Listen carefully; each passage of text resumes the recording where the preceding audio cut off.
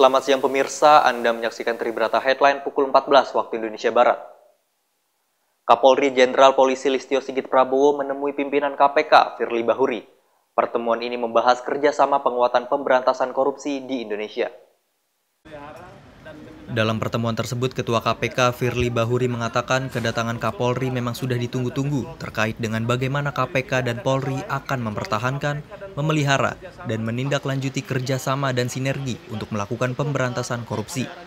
Dalam kesempatan yang sama, Kapolri Jenderal Polisi Sigit mengatakan kunjungannya ke KPK adalah hal wajib selaku Kapolri yang baru. Sigit menyebut ada sejumlah hal yang dibahas dalam pertemuan, termasuk soal penguatan pemberantasan korupsi di tanah air. Kapolri menyebut hal pertama yang akan diperkuat antara Polri dan KPK adalah terkait kerjasama sumber daya manusia. Lalu ada juga terkait bidang pencegahan korupsi, terlebih dalam masa pandemi demi memulihkan kondisi perekonomian Indonesia. Kapolri juga membahas kerjasama di bidang penindakan dalam bentuk joint investigation. Menurutnya sinergi dalam penanganan kasus korupsi terus diperkuat. Dari Jakarta, Tim Liputan Tribrata TV melaporkan. Presiden Joko Widodo menghadiri peringatan pers nasional di Istana Negara, Jakarta.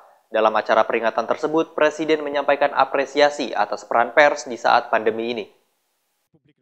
Presiden menilai pers tetap berada di garis depan untuk menjadi jembatan komunikasi antara pemerintah dan masyarakat, serta terus membangun optimisme dan menjaga harapan. Hal tersebut disampaikannya pada puncak peringatan Hari Pers Nasional tahun 2021 pada Selasa 9 Februari 2021 di Istana Negara, Jakarta.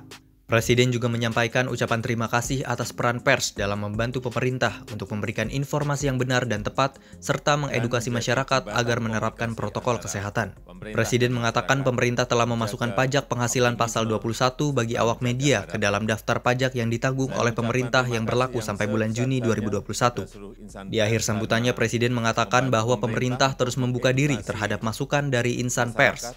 Dalam acara HPN kali ini kembali diberikan penghargaan bagi sejumlah media dan kalangan jurnalis, di antaranya Anugerah Jurnalistik Adi Negoro, Anugerah Kebudayaan, dan Penghargaan Pena Emas. Dari Jakarta, Tim Liputan melaporkan. Demikian Tribrata headline hari ini, tetap memakai masker, patuhi protokol kesehatan. Salam Tribrata.